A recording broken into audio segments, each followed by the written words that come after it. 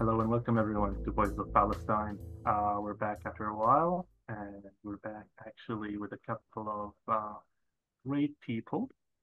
But of course, uh, as always, this is me, Yazan, your co-host for Voices of Palestine. We're bringing you uh, some of the voices directly from Gaza to share the experience and their uh, their views on what's happening in Palestine and specifically in Gaza right now shed some light on the atrocities as well as what's happening, plus what people are hoping for, of course, in the uh, during the genocide. In addition to how people are able to survive and get through throughout the genocide. And of course, uh, with me here, we have our co-host Fatin, who's gonna uh, be supporting us throughout this uh, session, as always, with our two of the greatest guests from Gaza, uh, Nadira and Ibrahim. Of course, but to get started, um, Nader and Ibrahim, they're both Gazans, and it has been a while since I've been trying to get them onto our uh, show. To be honest, uh, from, since October 2023. So it has been an act- it has been a tough experience to even make sure that our Gazan uh, friends and family members are able to stay safe and join us to share uh, their stories and share what's happening with them. So uh, maybe I would like to kick it off with Fatinah, just to uh, get started, and of course uh, with our two great uh, great guests here. So Fatinah. Thank you so much for that introduction, Yazan. So my name is Fatin. As many of you know, I'm a Palestinian. Uh, we've missed all of you. We're very excited to kick off web, webcast six with these two incredible featured voices, um, Ibrahim and Nader. I, I can tell you as a Palestinian, you know, with family in occupied Palestine in the West Bank, watching the genocide through our phone screens has been horrific. I mean, there's no, there really are no words. And so I'm like in awe to be in front of both of you because, you know, you didn't get to watch it. You, you actually experienced it. And so I can't, you know, I can't even imagine being in your shoes. I just have such so much respect and admiration for both of you. I find you both so inspiring and incredible. And we are so honored to have you on Voices of Palestine. To begin, I'm going to begin with um, Nader. You can just tell me a little bit about yourself and just however you want to begin, just a look and, and what you've been through about your family, maybe how they ended up in, you know, in Gaza, whatever you're comfortable sharing with us. Sure, Fatin. Thank you so much. Thank you, Fatin. Thank you, and, and, and I really appreciate your effort to just spread the voices of Palestine and tell the truth for, for everyone across across the world. I really appreciate it. Um, my name is Nader Jorf. I'm from Gaza, Palestine. Um, I've been working in, in the last seven years supporting uh, entrepreneurs and startups across Palestine, MENA region, and, and, and Europe. And for the past uh, four and a half year, I was working with Startups Without Borders, which, in, which is an organization that supports migrant and refugees on entrepreneurs across the world. And basically now I'm, I'm, I'm one of those refugees. Um, I've been in, in, in, uh, in I've been living in Gaza since I've been born and lived and raised in, in, in Gaza with my whole family and, sisters. And uh, yeah, we, we've been displaced since the first day of the genocidal war in the 7th of October, as we are living in, in the eastern part of Khan Yunis near the border, which is relatively a dangerous area. Um, yeah, and then we got in, in a very severe circumstances where we got displaced like nine times uh, sleeping streets, plastic tents, between rubbish warehouses, and a lot of sort of like inhumane places, and got through a lot of very dangerous situations where we could explain more further. Um, yeah, having a lot of diseases, illness, hepatitis, some skin disease, uh, having a lot of days without finding food or treatment, and being so close to death. Um, maybe I could yeah, wrap up in, in, in this way. And just as a follow-up, now that your family originally, how did they end up in Gaza?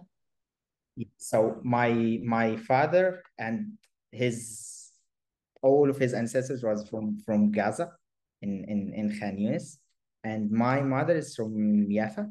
So my uh, the father my my grand uh, mother father he, was in, in in Jaffa. When I went to Yafa, I, I I saw his home, but yeah, it was with with another Israeli guard at this moment. And uh, yeah, then they were displaced in Al-Nakba to uh, to Gaza, and uh, yeah, they've living in uh, in in Gaza since that time. So yeah, my father is is is from uh, Gaza, and my mother is from Yaf. Beautiful. Thank you so much, Nader, for sharing. And and Ibrahim, same thing. Um, you can tell us a little, a little bit about yourself, a little bit about what you've been through I, you know, I always like, like we always like to ask, um, in terms of your family, are they originally from Gaza? Did they end up in Gaza after the Nakba? Just a little bit about yourself and what you've been through. Um, okay, I'm Ibrahim Altalaa I'm still in Gaza, 20 years old. Um, I graduated from GTC UNRWA College uh, as a software developer. I have been working from last years as a .NET software developer and also volunteering from since I was um, 16 years old with the community to help our community to be helpful for our community. Um, my grandfather is from An-Naqab in Palestine. After An-Nakba, my grandfather uh, got refugeed and now he's in Gaza. And my mother also, uh, my grandmother also refugee from Yibna camp. Uh, so basically I am a refugee um, situation in Gaza is so bad. Uh, I am still in Gaza, as you know. Uh, we have been displaced. We got displaced many times, at least six times. Last time when they invaded my uh, my camp, Maghazi camp, I live in the middle area of Gaza Strip. Uh, we live many days uh, in tents, in the streets, uh, suffering even to build a tent uh, suffering to get a food or water. And also we still suffer suffering from getting a food or a water even to drink or to use. Uh, the medicine and food and all aid in Gaza, uh, the occupation denied many and still denied many aid trucks from Inter Gaza. And I, I saw many videos from the other side, in Rafah crossing in the Egypt side, there are hundreds of aid trucks stuck in Egypt while there is a famine still in Gaza. So that's all. Thank you so much. You're good. Uh, thank you, Ibrahim, and thank you, Nader. Um, so, Ibrahim, uh, I understand, you're still in Gaza, and uh, yes, I believe you were able to uh, leave Gaza. Um, actually, I was about to evacuate from Gaza, but when they start the Rafah operation, as you know, they invade also Rafah crossing, and no one can leave or enter Gaza. Um, hey Ibrahim, so can you tell me how people actually manage to uh, cross the border or uh, escape? Um, to evacuate from Gaza to Egypt, you have to pay at least five thousand five thousand dollars so they can put your name on the list to evacuate. And as you know, uh, today is about ten months of uh, of the genocide, and people, of course, they don't have enough money to evacuate. So there's many people dream of evacuate, but they don't have the chance or ability to evacuate.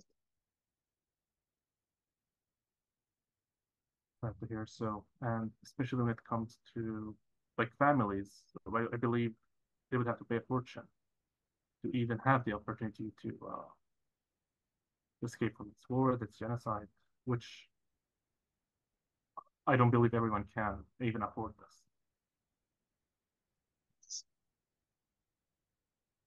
Thank you, Brian. Thank you. Thank you. Uh, but Nader, since um, you managed to go to Egypt. Uh, can you tell us a little bit more about your experience going through the uh, this process and at, at the moment right now? Do you feel safe? or do you still feel for those who are still stuck in Gaza? Yeah, so the decision was was very, very, very, very hard. Actually, we, we were super excited just to escape this genocide and this severe circumstances and we were living in, in, in Rafah. It was really, really bad and we got a lot of disease and we were really super ex exhausted. And then with, with the support of my friend, I, I created a crowdfunding campaign and then I could uh, manage to have fun with like also selling all of my mother gold just to have that money, as Ibrahim said, just so we could uh, travel to Egypt. But then at, at the same day of travel, it was really hard. We we almost get back uh, and, and take a step back on, on, on this decision. Look how we could just leave our land, our home, all people, all of our family and, and, and relatives. And it was very emotional moment, like the most emotional moment in my life, just leaving Gaza after leaving six months, seven months in, in in all of this war and genocide and sharing all of this pain with with my families and, and relatives. And then it's time to leave. And yeah, we just take that step and then we were just shocked by more of an obstacles we are facing with all Palestinians here. One of them is that you are continuously afraid of all your relatives and, and friends there in, in, in Gaza. And now I can I, I can feel that and really uh, at the first three months here in, in Egypt, I really wish that I, I, I didn't uh, get out uh, get out of Gaza. It's way more comfortable to be in the genocide than being outside it and just being terrified of all your beloved ones. Um, yeah, Palestinians here in Egypt are facing so many issues, especially with their residency. There is no permit to work. Um, most of the countries are closing their visa in our faces. So yeah, basically you're stuck in Egypt and you basically like you don't have a place to go. Uh, so and you don't have a permit to work, you do you don't have an official re residency, you don't have an official recognition as a refugee, whether from the government or the UNHCR. So uh, you don't know how to continue your education, how to continue your life. You don't have any choice to do, you know. So uh, it's it's it's very hard for all Palestinians here. Everyone is, is in the groups asking and trying to find solutions or anything just to find a way what we should do. What it's more of an official level and more of a governmental level that no one can on on on the individual levels could act and, and or influence this? Oh that's an interesting way to put it uh and here uh you have talked about the struggles of even leaving Gaza as well as the struggles that you're facing right now. So even though um, you're far from let's say the genocide itself but you're still feeling feeling a little bit of uh, fear for the people who are still in Gaza. And because of that, maybe I would say, let's check with Ibrahim just to tell us what's happening right now and how he's feeling. So maybe uh, we're able to connect the experience of someone who has been able to uh, uh, escape genocide and someone who is still trying to. Um, can you please let us know a little bit about how you feel, Ibrahim? Um, living in Gaza uh, make you always be unsafe. Um, hope to find hope this this genocide to stop. Hope for uh, immediate ceasefire. Uh, many nights, many days, all all of your time just thinking about how to get food, how to get water to your family, your brothers, your sisters. Even if you have a family and with your brothers and sisters, this will make it harder and difficult to you. And living in Gaza, I actually I because I because I entered this uh, this interview, I read a story from Gaza.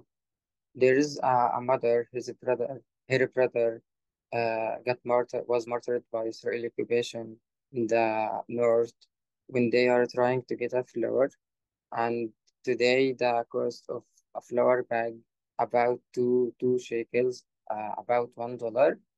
Uh, just imagine that your your brother is trying and to to get a food to you and your family, and then he killed by the Israeli occupation, and thinking that the the flour today is ex more expensive than the human life in Gaza is you can't understand this idea. So there is a real famine in Gaza in the north and south. Uh, you you don't feel safe. You you hope one day and as soon as possible as possible, the ceasefire to start. Um, especially when it comes to the value of a human life. If just like one dollar two dollars, that's that's literally what it costs for a person to lose their life, then I don't know what to say. But especially when it comes to your family, then we we have to pay the price. I just want to, I it just struck me, um, Ibrahim, what you just said, and I even wrote it down. Flour has become more expensive than human life. And that's that's what you said, right? I mean, I Yes. again, we will never forget, like there are no words. And this is why those who continue to remain silent in the face of this horrific, again, like no words to describe how awful the and, and all the various ways in which the Israeli occupation forces, forces are attacking and murdering our people. Um, I can't help but think that if we fast forward to 20 years from now, just the the the, the utter shame that people are going to feel for not speaking up. That this is the situation we're in right now. That flour, what you said, has become more expensive than human life. I'm so sorry.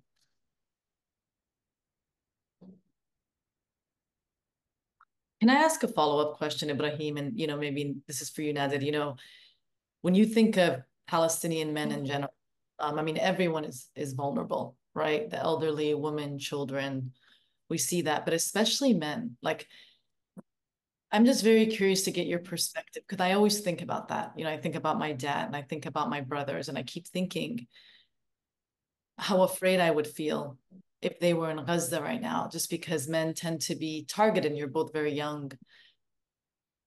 I was wondering if, you'd, if you would be comfortable sharing just how does that feel and then how does one keep safe?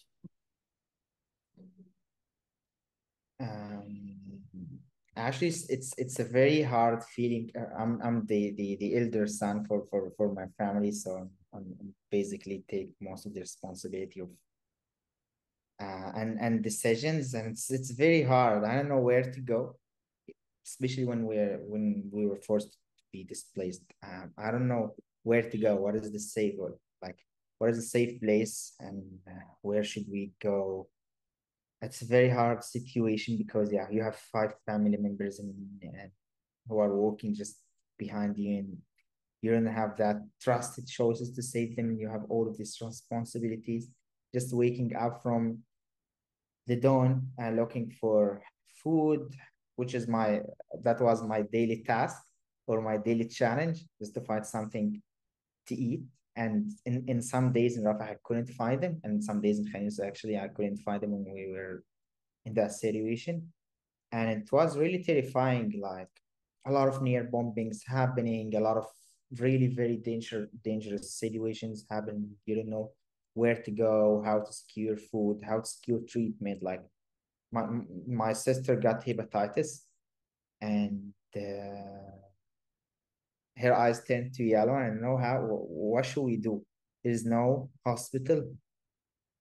The, the there is no treatment in the pharmacies, and I'm basically almost there is no internet just to say what should I do for in in in that situation and me personally, I got super ill and I got some uh, chronic diseases and I don't know how to, to deal with that, but there is no um, medications. And especially at that moment when I was super tired, but you are tired, but you have a family that you need to, the, you need to support them to survive. It's not, it's, it's not just about basic needs. It's more of a life or death. So yeah, it's it's it's very hard that responsibility. You need just to work and fight whatever it takes. Uh, you just you, you just have a family just to take care of. Thank you. Thank you so much for sharing, Nader. And Ibrahim, how, how is it for you?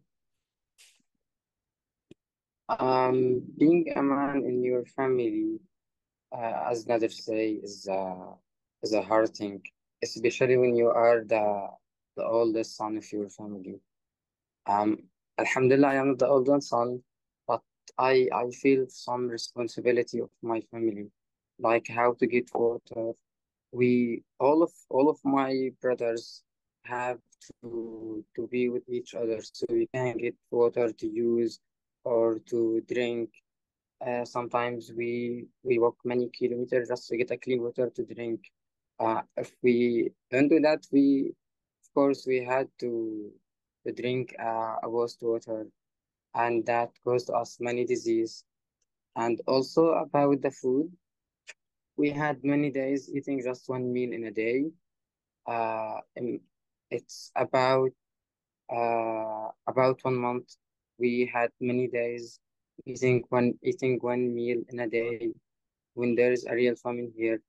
So even when you when you feel tired, you don't have to show your family that you are tired because of course they have the pain you have and telling them that uh, won't help you or won't help you get uh, get rid of your pain. So being a man is, is not easy thing in your family, especially at, at these times.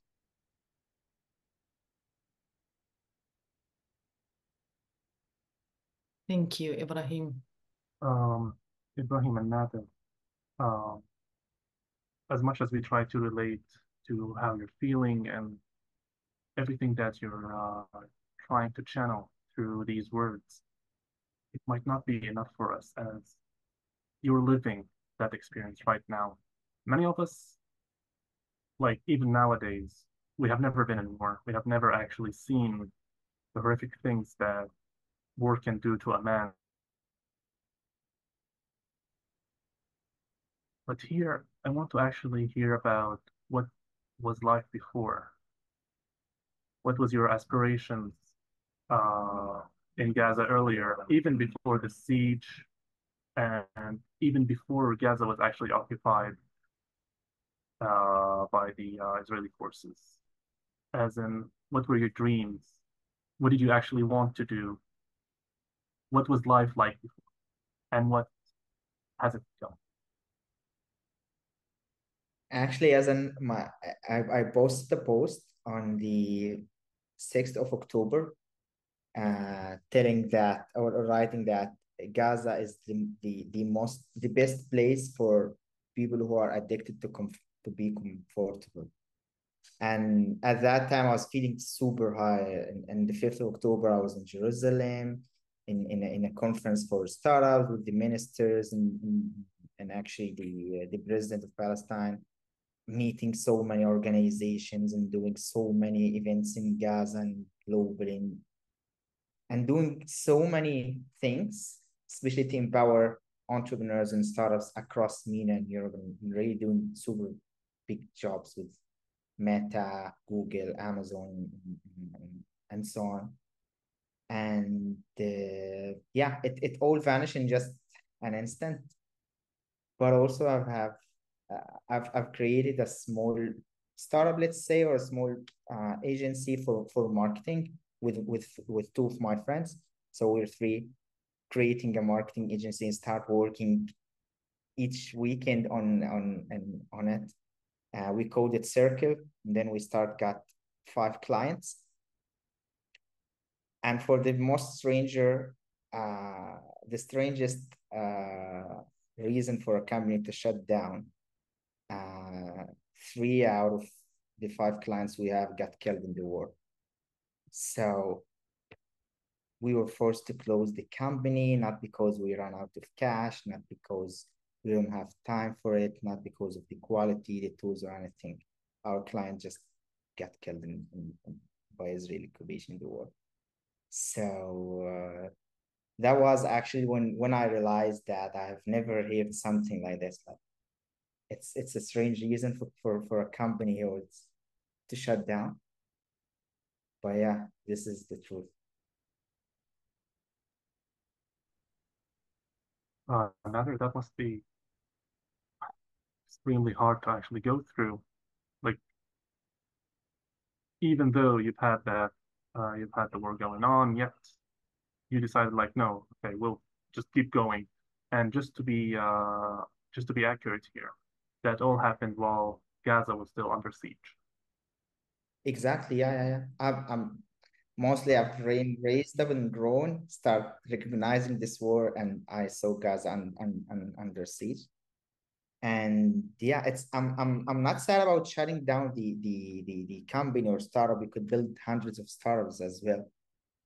But I'm just very devastated by they were super they were dreamers. They just make super perfect games and they want us to promote it in the in Saudi. We were having a lot of meetings and how they were super excited and, and ambitious. Some of them have some website and they invested everything they have just with the dream of having a startup business and so on.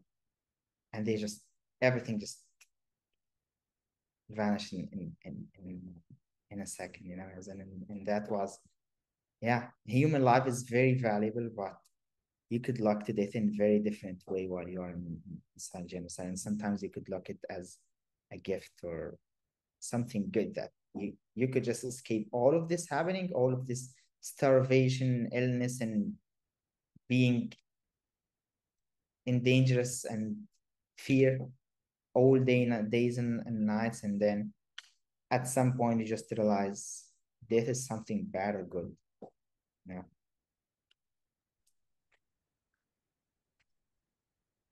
Extremely hard to go through.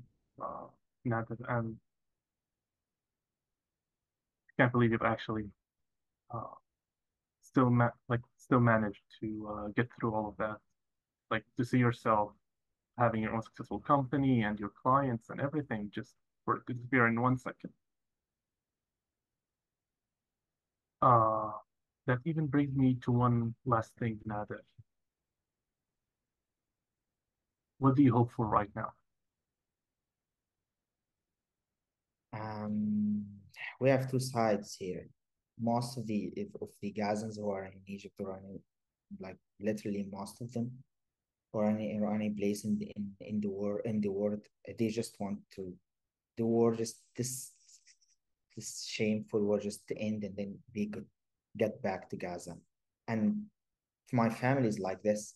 We just want to this war to stop and then we get back to Gaza, build a tent on our house rubble. We lost our house just in an instant. They bombed it away live. I just shared it on my Facebook as a normal post, like blowing up my my house with all of its memories and everything in it. But even that, we want to build a tent on it, and I don't know why, but old Gazans they they, they refuse to to be called refugees, and I'm I'm really facing a lot of problems with the Gazans, especially youth here. I'm trying to support them finding a job and finding a solution for, for everything. And they are just stuck. We don't know, we don't need anything. We just, we are just stuck until this war to end and then we get back to the, uh, to Gaza and see what should we do. We, we are a very small community in, in lovely one. Gaza was, was, we can't deny there is a siege and blockage and war from time to time, but at the same time, it was a very comfortable place and it was very, very, um, you know, warm place with beach, the the restaurants and the experience you live inside this small uh, strip or, or, or city. It's it's really uncomparable for for for for anything else, especially for for Gaza. So, yeah, this is for, me and for everyone. We don't know what to do. We just need this world to end. So we are we make sure that our beloved ones and friends are, are safe, and then we start rebuilding it back. Well, inshallah, you will bigger and even better than it was. And it's a genuine wish for sure. And I do wish it happens so soon. And I was also hoping to check for the same from Ibrahim. Ibrahim, I understand that you are having some connection difficulties, so you might have dropped uh, when I asked the question. But based on what you're feeling right now and what you've had in the past, what were what were your dreams and aspirations uh, before this genocide, and what do you hope for right now? Like, tell us the story about how Ibrahim was planning for the future. Okay, before the genocide, um, I choose the I choose studying diploma so I can work uh, as a young man, be independent man. Um, I graduated from my college with a GPA of uh, 92 and first rank on my class on my class. Then I got an internship with UNRWA, uh, and after that I I had a chance of get a contract with a local company in softwares as a software developer. Uh, also, uh, at that time, I had a dream of being a software engineer, uh, take a software engineering baccalaureate, so I can be expert in my field. Uh, if if you notice that working with studying will get you will help you get the theory from your college and get the practical side from your work. So you can be an expert in your in your field. And also at that time i had a dream of um, of starting my own software development company in gaza. But i had that dream to make it at least after three or four years but today uh, during the genocide i i am thinking and planning for this dream of making my starting my own start uh, software development company to hire the talents developers in Gaza Strip. I hate when I hate when see the developer evacuate and leave Gaza so they can get a work with international companies. I know many of my friends they are uh, the most expert in our fields, but Gaza Gaza need need those people. So I I was thinking of how to be helpful for for this problem. Uh, so start thinking about how so how can I solve these problems. It's by start a software development company to hire those experts and talent developer from Gaza Strip and connect them with international companies. Can you hear me? Yes, loud and clear. Yeah. Okay, and connect them with international companies from Gaza, work from Gaza with your family and between your family, see your family daily. Uh, not go outside of Gaza and miss your family, miss your home, miss your land. I am sure that a hard thing to feel. And during the genocide, the first thing I dream is um, a ceasefire, immediately ceasefire, so I can survive, my family, my friends, the people I love, all Gazans, all human civilians. We deserve to be free. We deserve to live, to have at least our minimum of human rights. To even our minimum of human rights, we see, and maybe the world see it would be a gift for us if the world give uh, give it to us, like the food, the water, uh, being safe, in a peace. These are our minimum human rights we are dreaming of have uh, at any time and at any place, even in Gaza. And after after the the ceasefire,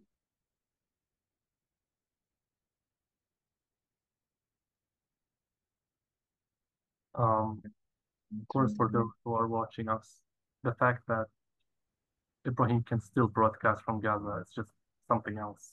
No electricity, barely have internet. okay, Like- can you hear me now? Yeah. Ibrahim.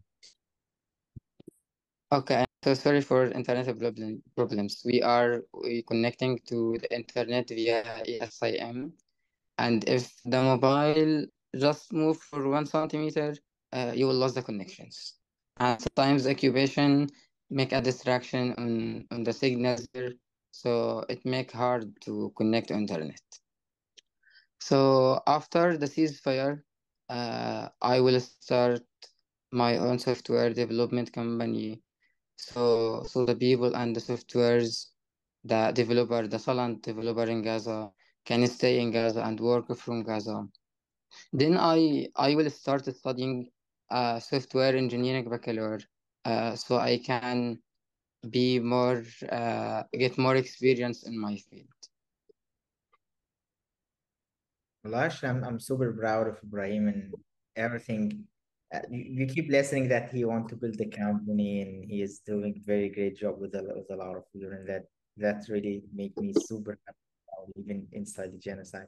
And actually, this is something that I think we need a psychologist just to analyze it because I feel that dreaming is the only thing that really make me happy or or or at least in in a good mood during war. Like I was spending not just doing disability studies for, for so many stars and things and just start dreaming, planning, visualize how is the better future.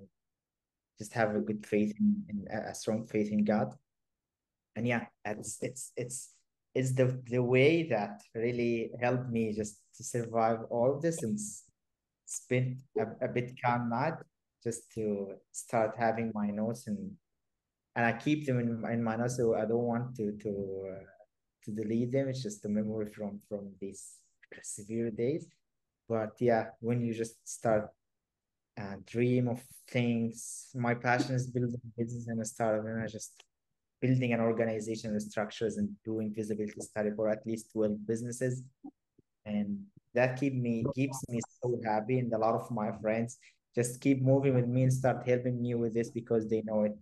It helped me it helps me a lot. I don't know how or what's the exact reason but yeah dreaming and having faith in god is one of the, best practices i've been uh, doing in, in the world Thank you, Nader, for sharing that Thank because I'll share a quick personal story. So, you know, obviously my parents are from, I, I said this from Turmus the Falarbia, uh, but I, I was born in Puerto Rico, so I grew up in the diaspora. And, but I've always been, you know, we traveled a lot to Palestine. So I'm very familiar with occupied Palestine, been to El Quds and, you know, all, all of Palestine except Gaza. I always wanted to go, but they're like, you can't go. They're not going to let you through. Um, just because I've always had just so much respect and admiration for Palestinians living in Gaza, just the resilience, just incredible people.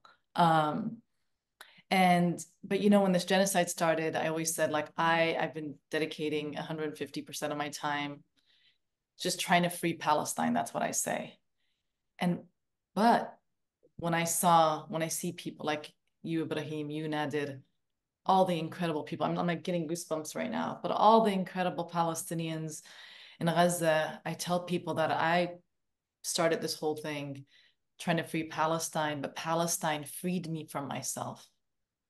I have never felt more free than after I I've been activated in such a different way because of the people of Gaza, because of everything both of you are saying, right? You talked about like building a tent where your home used to be. I mean, that's incredible. Just wanting to stay. And then Ibrahim, just the love that you have for your people, talking about how you you want to stay in Gaza, but then work, you know, with international companies. And these. And you said other beautiful things about like human rights and how, of course, we Palestinians deserve human rights, just like we deserve water, the air that we breathe in, food, right? Why is it that we historically for over 75 years have been deprived of just basic decency and human rights. It is unbelievable.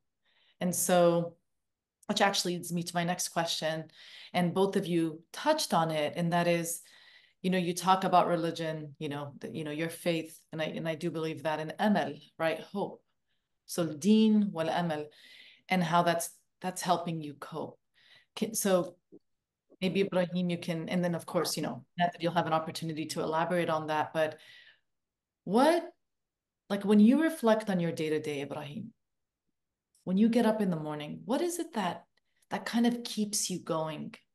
How do you cope? How do you how do you endure just the daily existence of being in a genocide? Sometimes when when I wake up, to be honest, I I give up many times. But we don't have another choice. To live, you have to fight. To get your minimum human rights, you have to speak up. You have to to tell the world about what's going on here in Gaza. To to stay alive, to to make anything you want, you have to wake up, do your things, uh, trying to find food, water. Because if you if you don't do that, you you want to stay alive. Um, I also sometimes when even during the genocide, uh, I start I I back to work on Upwork. Uh, before the genocide by one day, I got a contract with international company on Upwork, and in the night of 6 October and 7 October, uh, woke up when the sounds of bombing uh, I tried as much as I can to work with them, but internet problems, then the cut of electricity, no electricity. So I I I couldn't have the chance to work with them. They understand my situation, but Alhamdulillah, uh, also after before two or three months, I try to back to work on Upwork as a freelancer and I got 100% of job success. Also, I got a top-rated badge. Top-rated badge mean that you are one of the 10% freelancer on Upwork. Uh, what I, this I do this for two things. First thing, you you need to work so you can stay alive, to buy food, water, or anything you need here in Gaza, or even try evacuating. Second thing, I I want the whole world to show that even during these difficult times, we we are ready to work. We we have the faith. We are hoping this genocide to be over, to stop. Also, we are trying that the genocide won't affect our work. I know it was hard for me and it's still hard for me connect internet, uh, charge my laptop so I can uh, work or this these these difficult things. But I I want to tell the world, even during difficult times, Palestinians, Gazans specifically, uh, deserve uh, all of our human rights. Uh, we we are trying as much as I can to tell the world that we are exist. Even if you are suffering, we can work. We we won't give up. The occupation try all of things they they do to to make us give up, but we won't give up. We are on this land. We are on this this Gaza. Even if they still occupied us, we we are trying as much as I can to to not give up. Thank you, Ibrahim. Um, one thing actually kind of caught my attention, and I'm not even sure how to describe it, but is everyone in Gaza actually an entrepreneur, or has that will to just keep going regardless of whatever happens. And you know, Yazan, uh, I, I could remember a situation happened with, with my friend. I was super after my house uh, was destroyed and uh, we saw the footage at, at, at, the second day. I was super sad. I really was super sad. I couldn't even stay with family because everyone was, was trying and really devastated. And then I went to them and told them, خلاص I'm done. I couldn't do anything more. I want to give up. Tell me, okay, what should we do? If you want to give up, you don't have a choice. You don't have like, okay, give up. What should you do? There is nothing you can do. You, you don't have any option. Just keep doing and, and, and, and fighting. And, and that was comes from several things. One of them because Gazans, we are very stubborn we are so dedicated you can't change our mind easily. The second thing is that we used to that we used to just to fight to find a job opportunity we used to fight for our land for our identity for fighting all of these lies and propaganda that they are spreading in the media and that we went super crazy when we saw anything on on, on media and that's why we are witness, witnessing it with, with our eyes and then you just open the media and see a totally different story, and that really very frustrating. And uh, yeah, we, we even in the normal days, the normal days, uh, normal days for us is when decision blockage happened. We wish that we could return to those days, and now everything was is, is completely erased.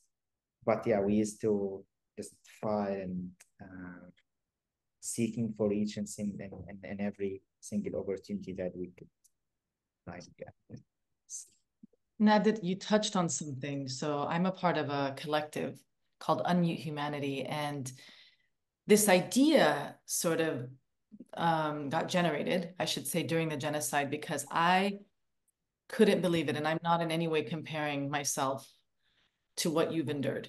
But I, like, I can't even imagine what you and Ibrahim have endured because the, like I, and I talked about it in other webcasts, the physical pain that I would feel waking up. Like it really, it really affected me from a physical, mental health standpoint. And so, and what made it even worse was exactly what you said.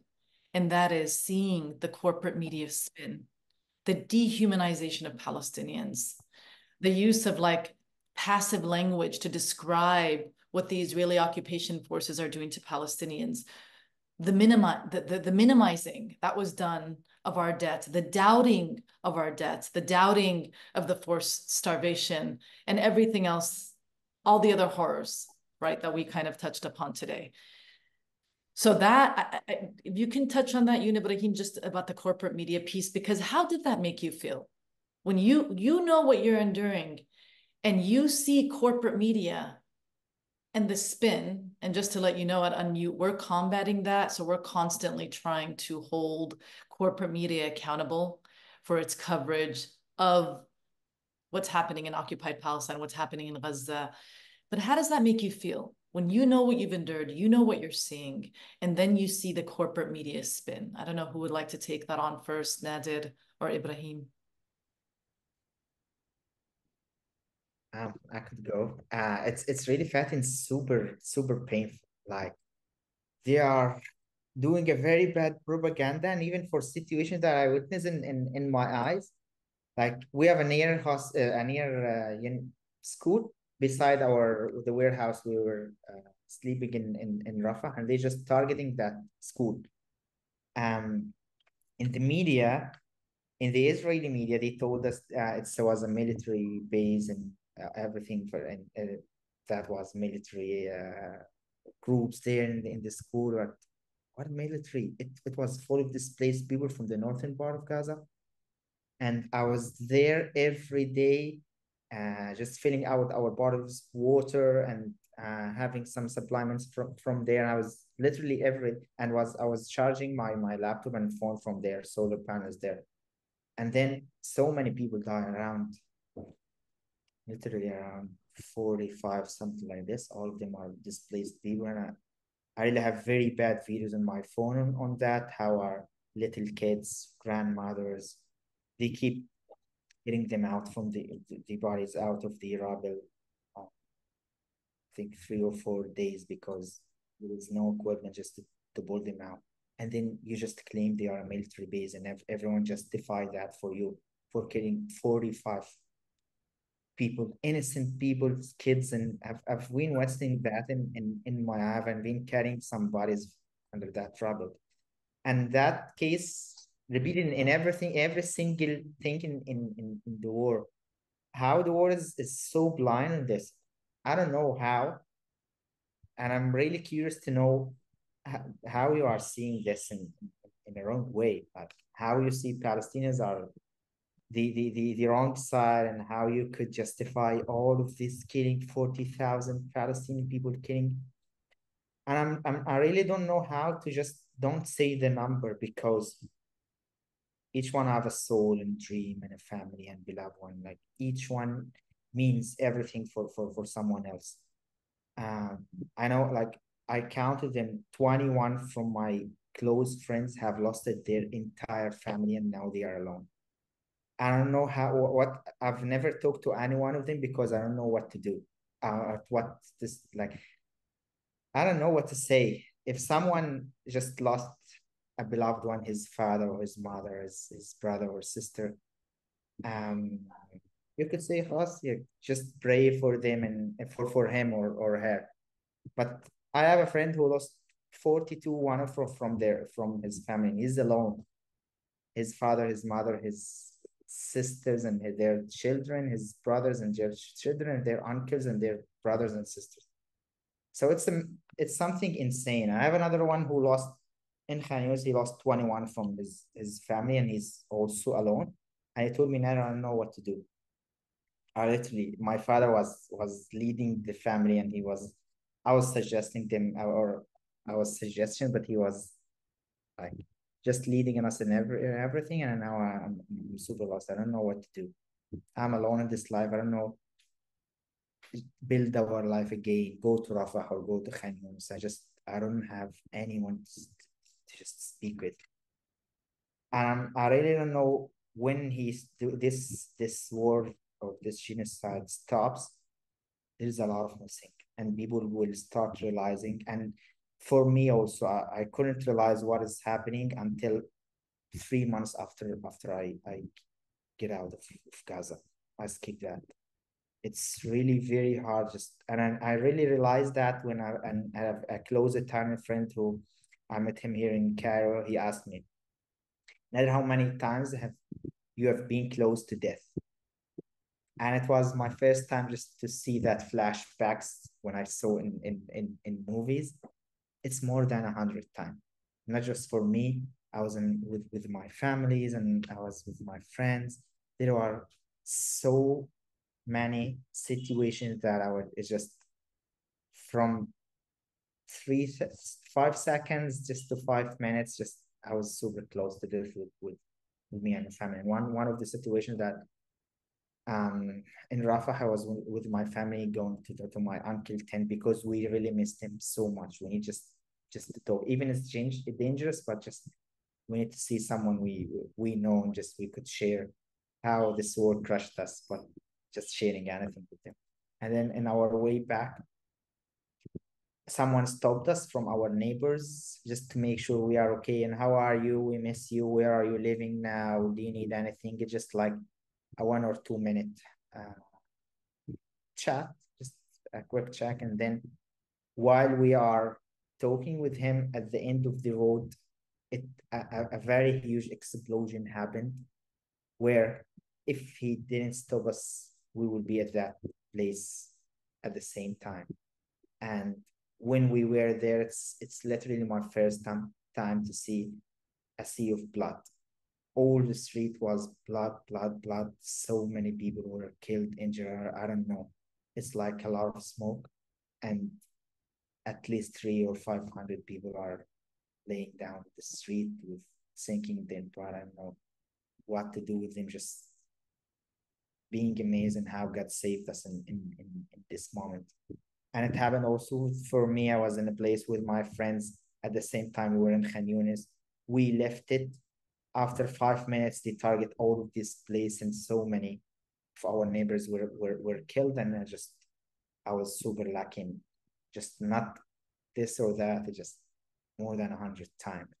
And then you start realizing that how how crazy all of this happened. I was before I was I was being sad in, in very silly things. I was being sad because my laptop is, is not a Mac Pro. It was Mac Air, so I need a really new one. I was really sad of not achieving a lot of work, being stressed with work, uh, some Turkish series or movies. It's it's being crazy how things are are are, are changed and how yeah you could see the life in, in a very uh, in a very like from, from a very different perspective and uh, yeah that that teaches you a lot I there are no words, Nader. Just incredible. Wow. Ibrahim, I don't know if you have any follow up to that in terms of just, you know, touching on what Nader talked about in terms of when what you're experiencing and then what you see the world is saying, how that, what that experience is like for you. Um, I just want to add something to what Nader says. Uh, just being late for five seconds or even one or two seconds could save your life from death, could save your life from being killed and be uh, birds, and no one could know your birth, know your identity. And for what the world see and what we are witnessing hearing as Gaza, uh, sometimes I thinking when when the people see the news, they don't have the full idea of what's going on in Gaza. You just see that the Israeli occupation bomb a home or a street or even a land in Gaza, but you don't know the details. The media won't show you all the details, all people feelings around this place or in the place, and also one idea I believe in it that Israel tell you, Palestine and Gaza show you. I I had many many friends. They don't have a clear idea about how this genocide started or what's going on here in Gaza. Basically, because Israel promote uh, a fake news, they lost the button but I hope to be in a couple of seconds. Yeah.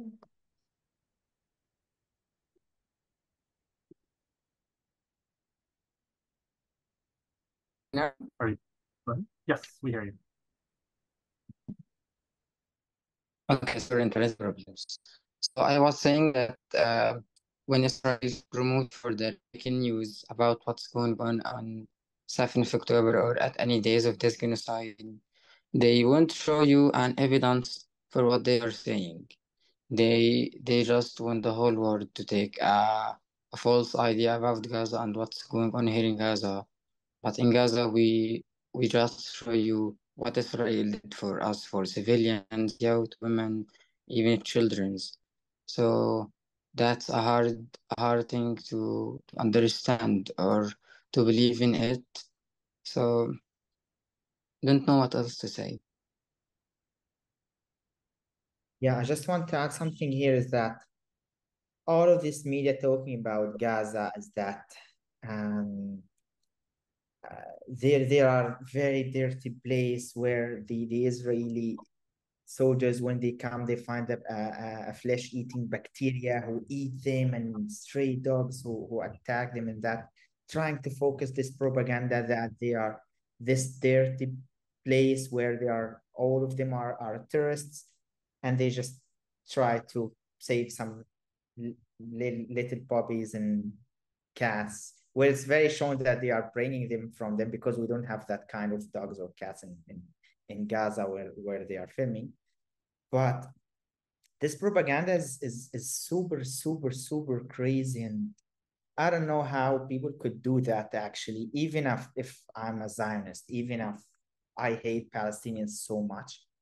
But at least like I can't like let a, a, a military dog attack a, a grandmother as is seen in, in the video and just being so I don't know, it's it's more than a monster. I think the monster just go and eat you directly.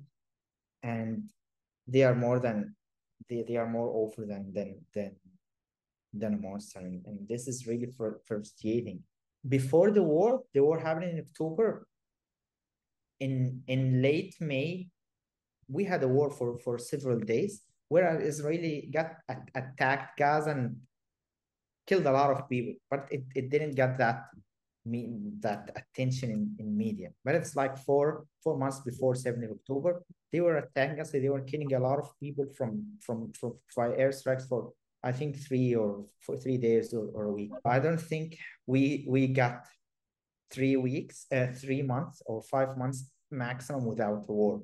And this happening started from 20 as I as far as I recognize, I've been displaced like thousand times. I've been displaced in 2007. In 2014, I got my home totally destroyed. And we rebuilt it again. And we rebuilt another house.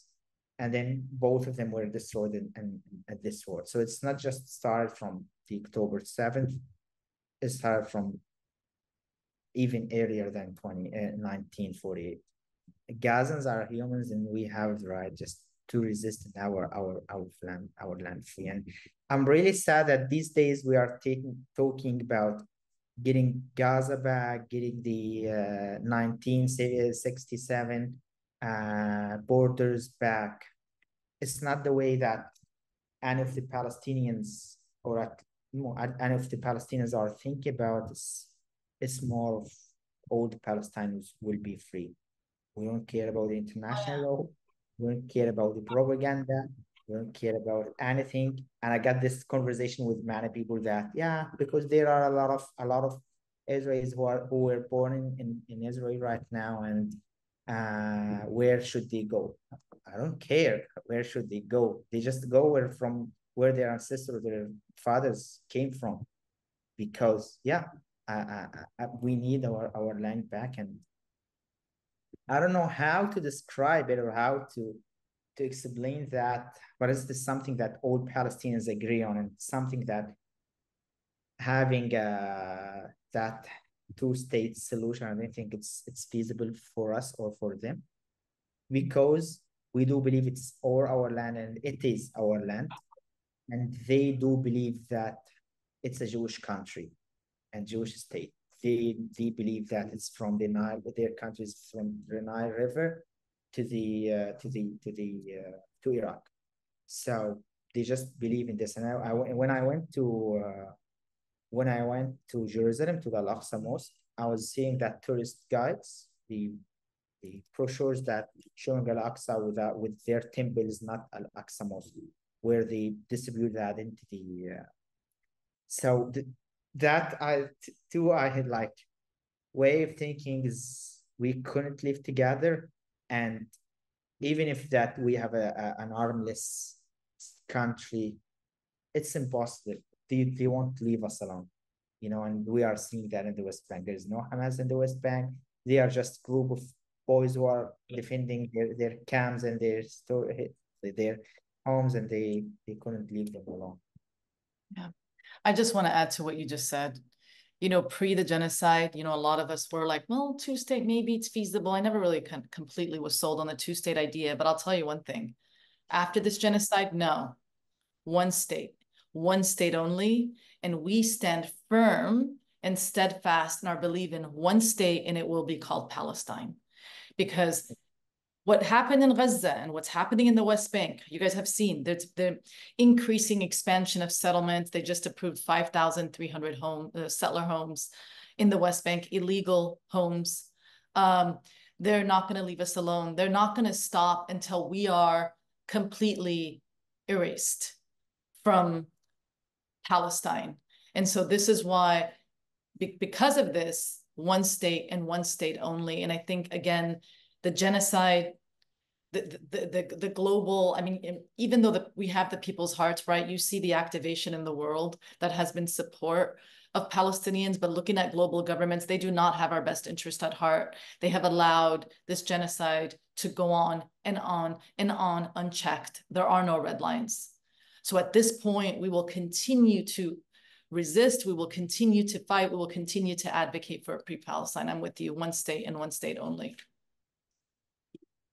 Melanie just added something here that could an end to apartheid, one people, one state be something to work towards?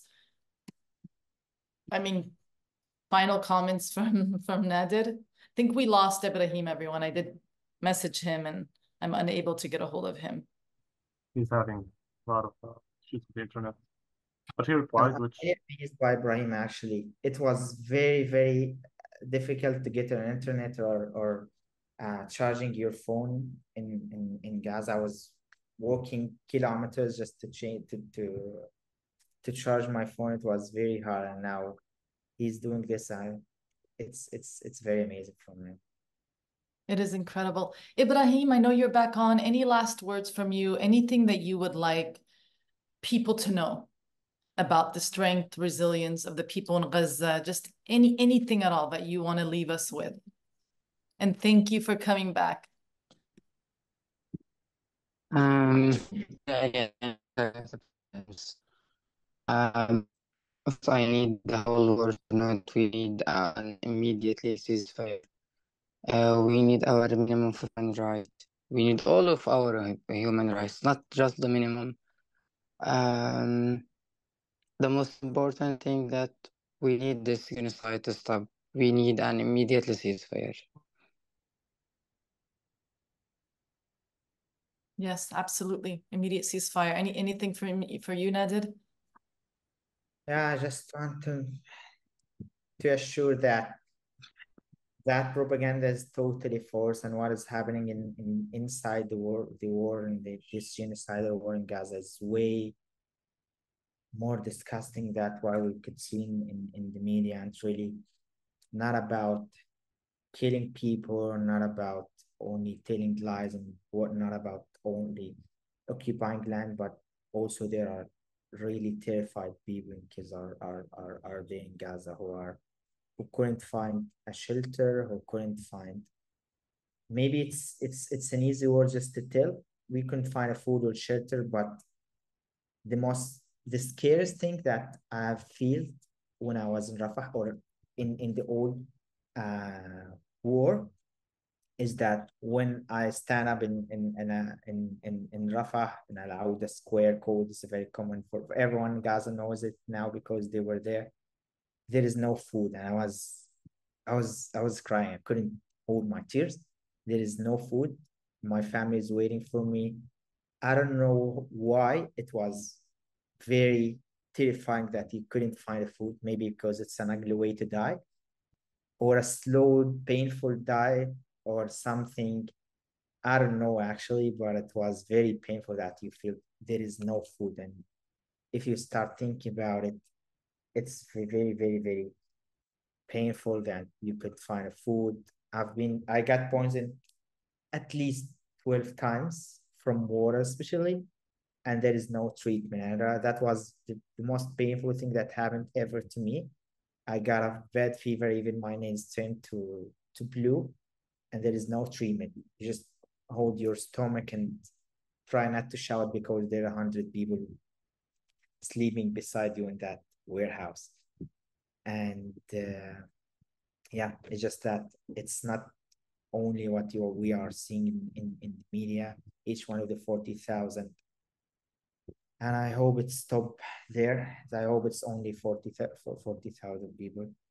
Um each one have a story have a dreams for me I'm, not sure I'm how to be sad on them because I lost a lot of neighbors, friends, relatives, university teachers, university professors, school teachers, people I have spent very lovely time with.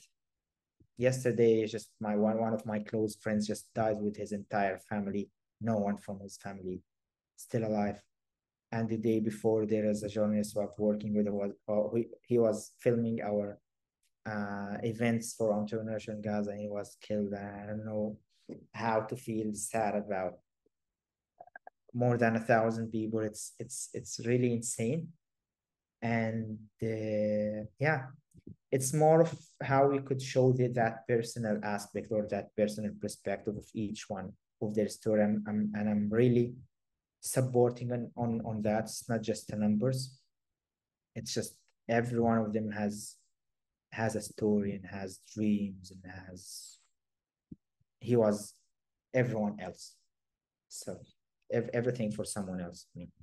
so uh, yeah just need this word end and just stop these numbers this really it's it's not numbers stop this awful things that are that are happening and the way the war just start wake up and realize like come on people and uh, recognize that, just be awake and just see. Like you have a, a, a thousand millions of reels, stories from from everyone in, in, in that world. We couldn't all not all of them, them could be liars, you know. And I got a friend, I was with them in, in, in a day, and the, in the second day he was killed, he was working in the UNRWA facility inside the, the, the UN headquarter in Rafah was killed there. I'm I'm not sure how they are targeting a UN facility in like directly, but another one who was injured. This is like this is not a criminal war. This is more of really the international war breaking the international war completely, and no one is is, is talking. And uh, I'm I'm not sure how to solve it, but we need to stay together, and we need just to let that war know. And at some point, خلاص, even if they don't want to know, is their choice of choosing that from side of the history but we still need to fight. It's it's not a privilege. It's not something slightly brief. It's it's more of our lives, our lands. Um, for my parents, they spent. They are a normal governmental uh, employees, and they spent twenty eight. Antoine Sex, they are they spent 28 years of their uh, working career just having money to build that house and now it's all vanished and my mother gold is we we we sold it for uh, so we could escape the, the genocide. And now it's more of all of their dreams and all of their efforts and everything they dream of they just vanish in, in, in one second. It's more of some crazy moments and things that in media it could look bad or it could look uh, small i mean or something not that much but imagine all of your efforts and went for 28 for, for the whole of your life just vanishing in, in one second with all of your memories and all of your small belongings and everything just disappearing in one seconds. And this is not nothing compared to losing an entire family or even one member of your family or even got ill without a treatment and, and so on. So yeah this is my last word that we need a ceasefire we would need to recognize everything happening in Gaza and support ending, not just ending this genocide and also ending this occupation for the whole land and finding a place for the Zionists in the uh, Arizona desert to have fun there and it's, it's close to their beloved America.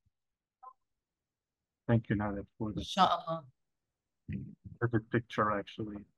All those hopes and dreams where we're standing with you hopefully, inshallah, they'll come true. Uh, not sure, but I think Ibrahim has dropped. I think let him, I'd like to see maybe if he'll come back again, just to see if there's any final, final, final words. Thank you, Nader, for everything you said. Thank you.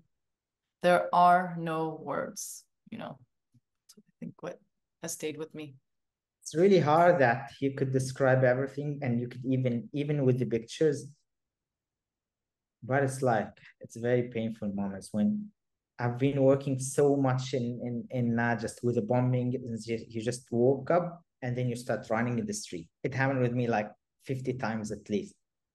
You just you couldn't sleep well and if you sleep for, for, for some minutes or hours, then a next a, a very near explosion happens. People start shouting in the street, evacuate, evacuate, and then you start running. You are still sleeping, and you know what what what to do. At, at some point, I was super sick, and then I started running with with the fastest thing I can, and then I, I slept in the street until the dawn. Kind of because I was very sick and couldn't stand. So yeah. Wow. Thank you, Ned. Thank you. Really, thank you, Nader, for everything that you've, you've shown us and talked about. Because at the end, you are our, our eyes out there, and we do hope that you stay safe all the time. And the same thing goes for Ibrahim. I really wish you'll be able to uh, tell us uh, some of the last things that you would like to share. Like, um, you have the stage to yourself what would you like to tell the world? What would you like them to hear? Uh, I also want to say that uh, when I talk about I back to work, uh, I I walk about two or three hours so I can reach that place uh, where they provide the freelancers for an internet and uh, electricity from solar panel. Um, Also, I want the whole world to know that we we are still dying here. As Nader say, uh, our friend Saad Mdouh, he's a journalism, journal, journalism in Gaza, in the north. Uh, the occupation killed uh, his family. Uh, he was one of the best uh, of the best people in Gaza, dreaming. Uh, he has uh, his, his he has his he has his uh, his own uh, production company. Uh, when I uh, was at my college, I was the organizer of Alta Prize uh, in my college, and we we make a a closing ceremony, uh, and Sadi was one of our sponsors. I remember when he talked about his dreams to to his friends. I I remember many friends in Gaza.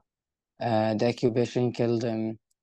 They they were have a dreams for for our community in Gaza, be helpful, and sadly the the occupation killed many of those people, of those youth people in Gaza. They were civilians. Um, also, I want to say that we, the families still in Gaza, we people in Gaza and we in Gaza, uh, try hard, try hardest uh, for our effort.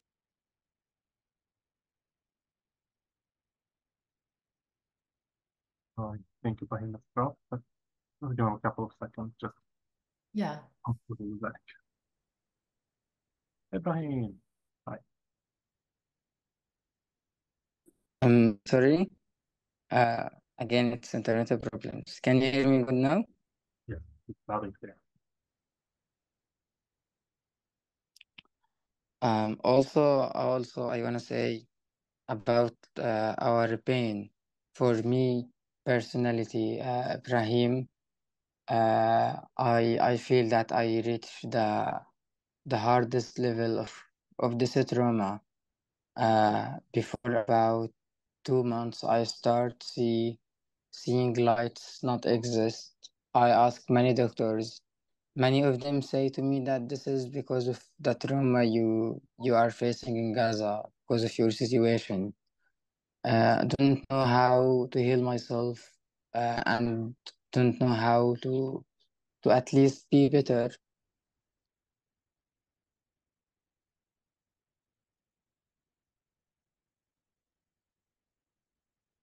Uh, what is the...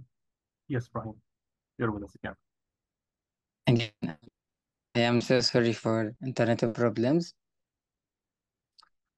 Uh, I was telling you that I I reached the hardest level of the room I face. Start seeing lights not exist, and uh, I had sometimes that I I felt so scared.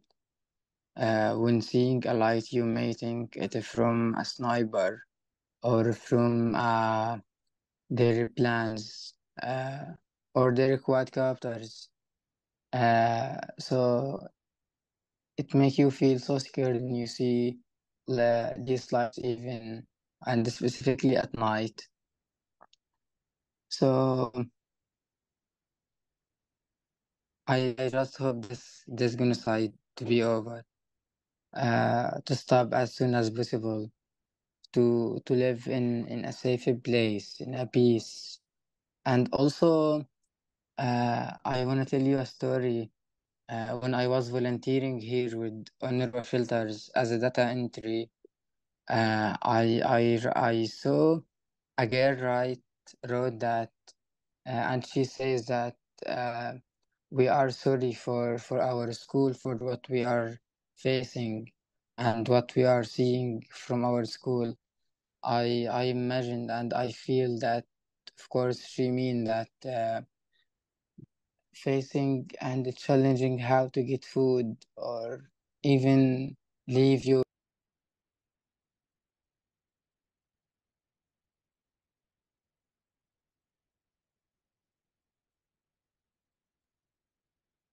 Yes, Ibrahim, you're with us again.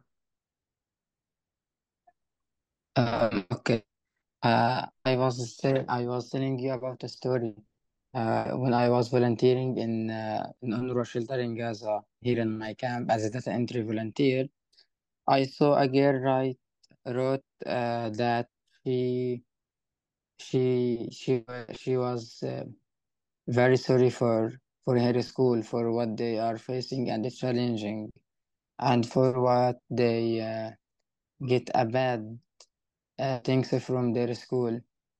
I just imagine and feel that those children uh, they they don't deserve to get this chance. Leave your home and go to the school that you you must study in it, not to get it as a shelter.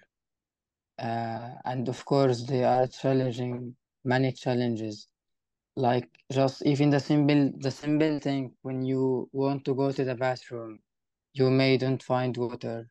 You of course you will find many people uh, stand and waiting, uh, and when when those people at at the shelters waiting for the food or water, as many people in Gaza, so it's it's a terrible thing that to live in in the place you you were uh, should to study in it, not to get it as a shelter.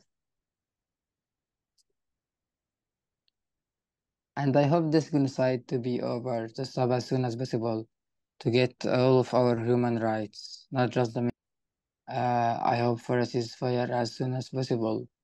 I hope to see Palestine free, all of Palestine, not just Gaza, the whole Palestine. Sometimes when when I thinking that my land, uh, our citizen Palestine, there is just between me and my city just one kilometer and feel so painful that I, I can't go to my city because of this occupation. Before at a few weeks, I reached to to the end point in the middle area of Gaza where you can see the Netzarim. Uh, the occupation is there, of course. Uh, just seeing the Gaza city in front of your eyes and Gaza, the Gaza Sea, and you can't go there.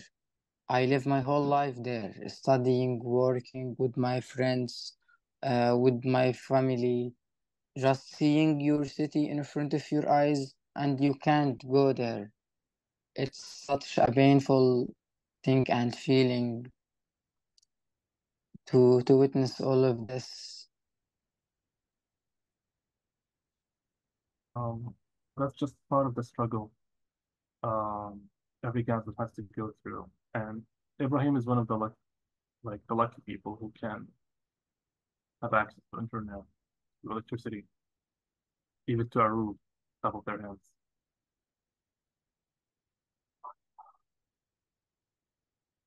Yeah, I mean, good point is then what people don't realize is that there's still um, these ongoing communication blackouts that are happening. People, it's it's it's become old news, but it's still happening.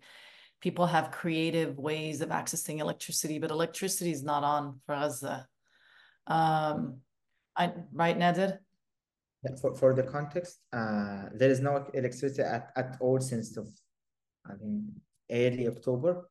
Exactly but also for for internet uh, they keep uh, they keep targeting the towers of the the the signals for whether for telecommunication or the uh, the internet but uh, Gazans find a way of having an eSIM connected to the Israeli uh, telecommunication towers who are in the in the settlements beside Gaza but they detect each that each each of that and then they start um, blocking those those signals. So I'm, I think this is what happening with Ibrahim, and this is what also happened with me. You just have few minutes just to check the, the news before they block the uh, the, the the signals, and that was the main way that you could have internet. And there are some ways where you could have internet, but they block it um, immediately. Then you don't. It's not very reliable.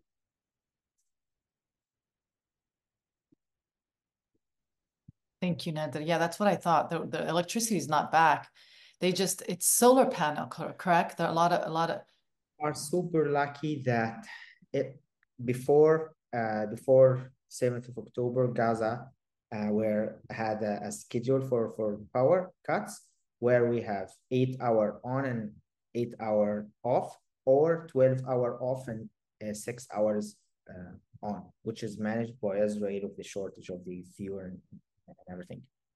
And then they built um, for the universities, there are some development organizations who built solar panels for the uh, schools, schools, hospitals, and uh, the international organizations, the headquarters of the international organizations, they made that for, for them. So when the war happened, you see people who sheltered the school and the hospitals like Shifa or Nasser because there is an electricity there, and they assume that it's relatively safe, where Israel just came and attacked them first, whether the schools or the universities. Yesterday, at least two schools were, were just uh, one one in the morning and uh, one this this day morning and one yesterday full of displaced people.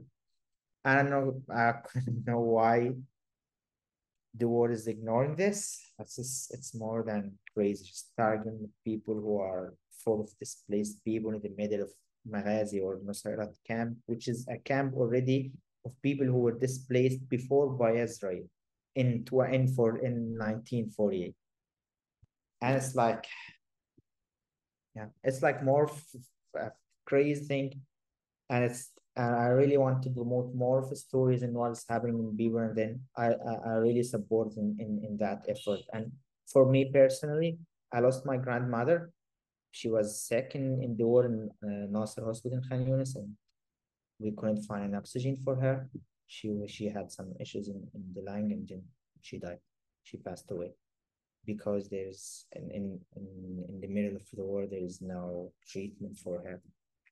And that was a very difficult moment for my mother because she's her only daughter and we experienced a very tough time in, in, in this. And uh, and that happened to a lot of people because I uh, my my brother uh, Karim he's working he's he's he was studying in Al Azhar University uh, medicine the fourth year, and he started volunteering in Nasser Hospital. And I was with him just to make sure anything bad happened to him. And then you see how in hospitals terrifying and horrible things are happening us. So I've seen a lot of really bad moments.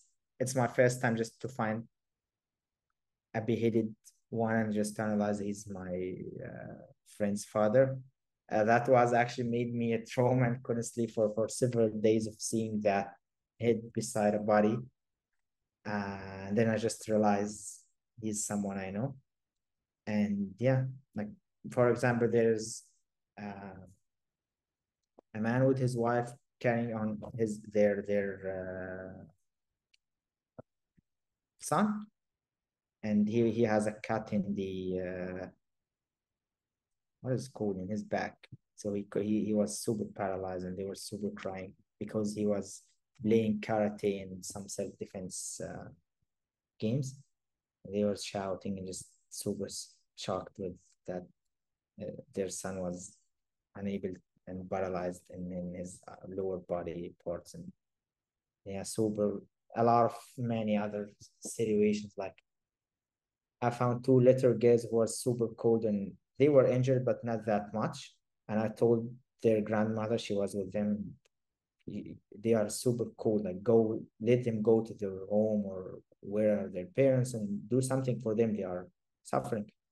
She told me they just attacked the home and I, I don't know where is the other. All of them are died. The, the home destroyed and just came to the hospital. I couldn't find just two of them and the others are whether in the uh, they are all dead basically. So I was speechless. What should I, uh, I tell her? There's no place for her to go.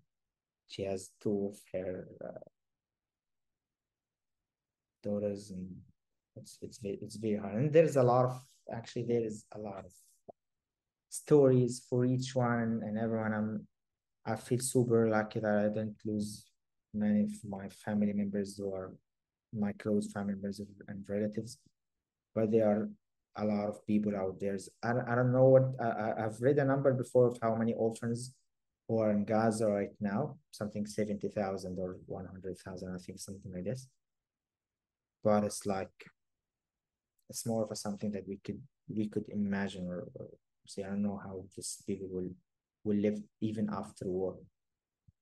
It's something very very crazy actually.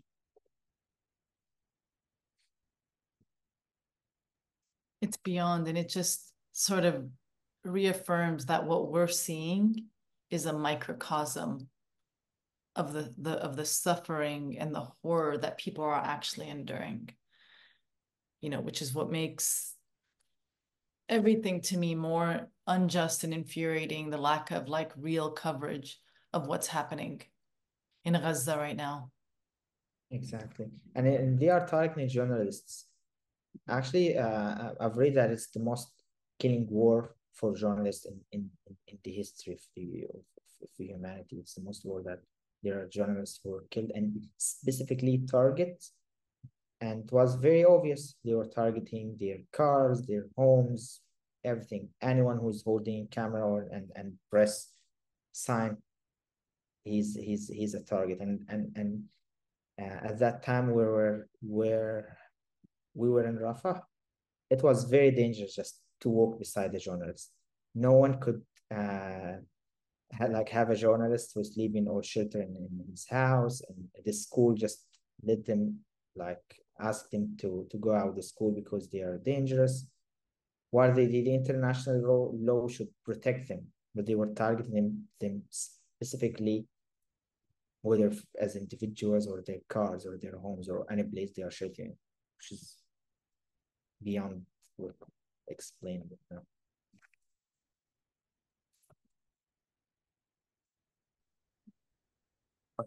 putting everything aside, even those trying to get the truth out would be targeted, which is systematically done.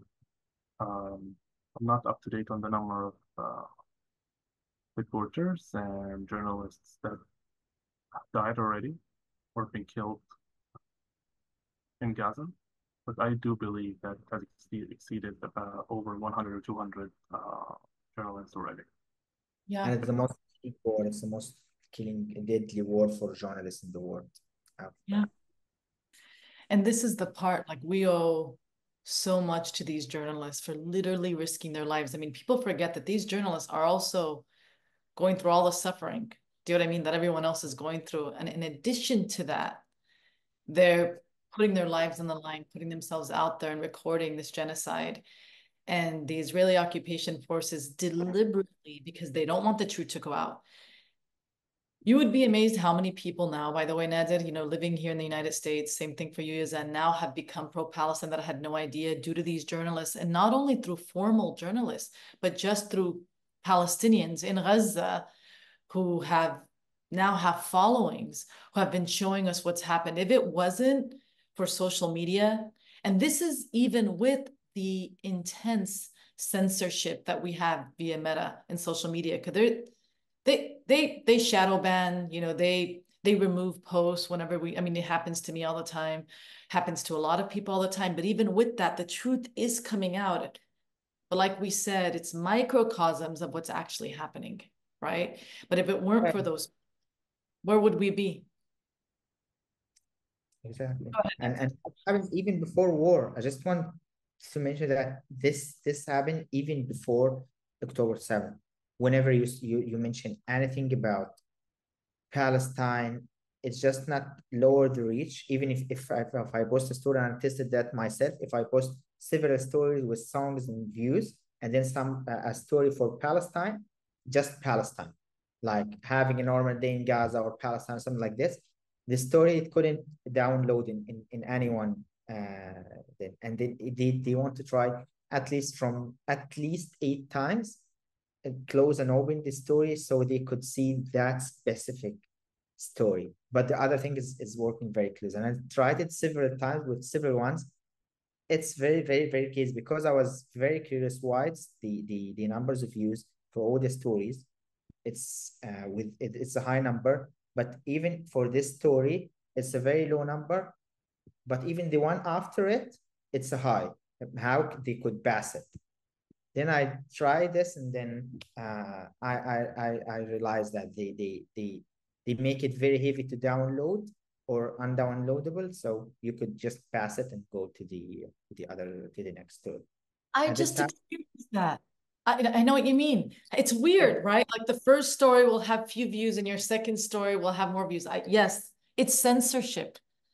This is a systematic, deliberate. I mean, I'm telling you, one day I think all Palestinians need to do a class action lawsuit against Meta and all these techno fascists who are literally a part of the arsenal of genocide uh, by US imperialism and by the Israeli occupation forces, because I've never seen this level of censorship when it comes to any other issue in the world. But Exactly. We are very small land with a very, very small people. I don't know why they are focusing on that. But then uh, when I was in Egypt, I was watching several movies, and then I just realized how this it's very repetitive scenario where that people where they have guns and technology and support, they just get out to indigenous indigenous people and then start killing them and controlling them and doing very bad stuff. It happens in almost all Hollywood movies. I don't know if they are replicating that on us or or, or something like this. And even if if you just open Angry Bird movie, you will find that pigs with the technology and by that big machine and guns, and they start occupying their island. If you want Hunger Games, Island, uh, The Maze Runners, Robin Hood, and any any movie, any Hollywood movie, you will find the same scenario where people with technology, power, and then they come to control that traditional people and indigenous people in that in their in their place and controlling them. And it's in all scenarios, the, the, the traditional people and the indigenous people win at the end. So I don't know why people they they they believe in all of these movies and when it starts to reality, they just want to close their eyes and look away. know? So just it's it's really something if you notice it, it's like typically the same. Absolutely. Yeah, that colonial savior sort of like, we're gonna go in and we're gonna save the indigenous people from themselves, right? It's the same story. Exactly. It's happening in, in reality right now. Yeah. We know the end. All of us know the end. All Yep. of us watch. even Inshallah. though- Free Palestine from the river to the sea. Palestine will be free. Ibrahim, anything for you before we close out? Thank you so much for coming back. Mm, thank you. And sorry again for internet problems. We are the one who are sorry, والله brother. بعين الله يا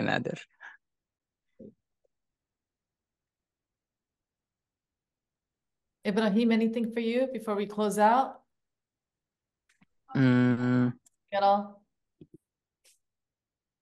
no, thank you. And I just want to say, like, thank you for your patience. In spite of all the connections, the fact that you kept trying to, you know, connect back into this webcast, just so honored. Thank you.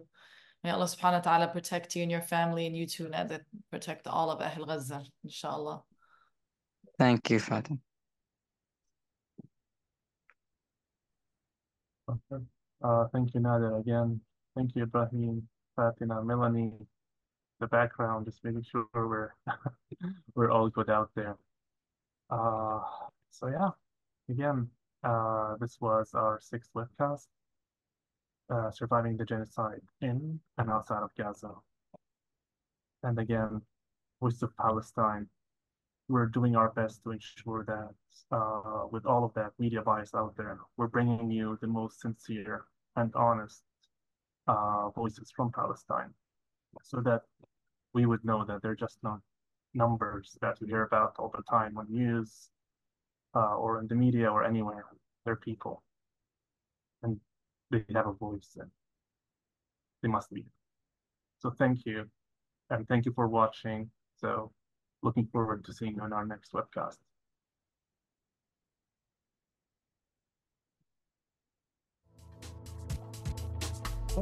Thank you all.